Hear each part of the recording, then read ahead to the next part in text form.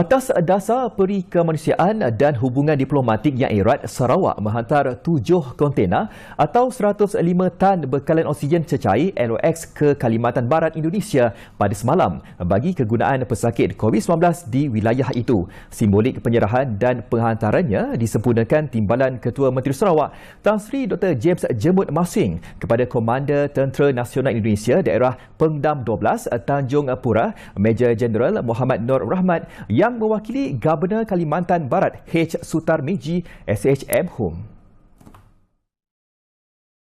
Bercakap kepada media Malaysia dan Indonesia selepas majlis di pos imigresen, kastam, kuarantin dan keselamatan ICQS terbedu, Tan Sri Dr. James Jemut Masing berkata tiga kontena telah dihantar pada 23 dan 24 Julai lepas dan bagi empat kontena dihantar semalam. Terdahulu, Ketua Menteri Sarawak, Datuk Patinggi Abang Johari Ton Openg menerima sepucuk surat daripada Sutar Midji minggu lepas yang memohon Sarawak membekalkan oksigen kepada Kalimantan Barat bagi kegunaan penggunaan pesakit COVID-19 di wilayah itu. But whatever it is, whatever we have now, we must assist our neighbors. They are in need. We will do so. And I'm very pleased that the TNI, Tentara Republic Indonesia, come here and get those oxygen tank. Beliau sementara itu memberi jaminan Sarawak sendiri memiliki simpanan oksigen yang mencukupi untuk kegunaan pesakit di hospital dan ketika kecemasan. Selain berharap bantuan bekalan oksigen itu dapat membantu meringankan masalah dihadapi Kalimantan Barat dalam membendung situasi COVID-19 di wilayah berkenaan.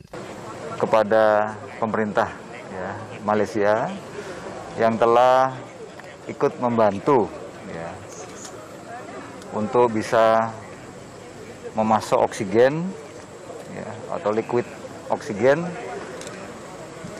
sesuai dengan kebutuhan yang kami minta. Ya.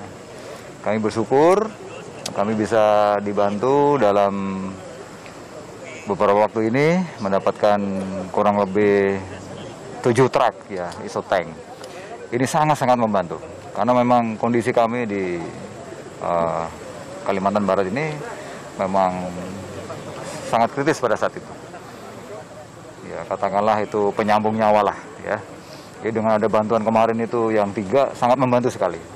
Operasi penyerahan dan penghantaran itu dijalankan secara komersial dengan kedua-dua kerajaan membantu dalam proses transaksi sahaja. Syarikat Lin EOX Sendirian Berhad yang beroperasi di Kuching bertanggungjawab menguruskan bekalan oksigen dengan pihak perusahaan PT Matisu Abadi dan PT Sarana Pasik Nusantara dari Kalimantan Barat.